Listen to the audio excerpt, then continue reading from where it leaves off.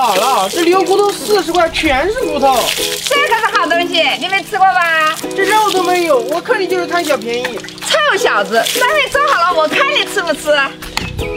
这骨头好硬呢，现在给它焯下水。姥姥，你老是吃这些奇奇怪怪的。谁说的？这会让你好好的解下馋。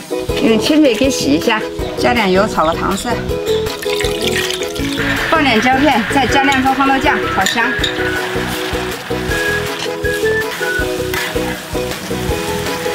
哇塞，姥姥，这比猪肉香多了。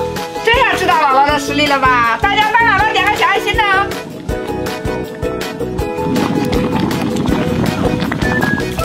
嗯，好香啊，这吃着肯定舒服。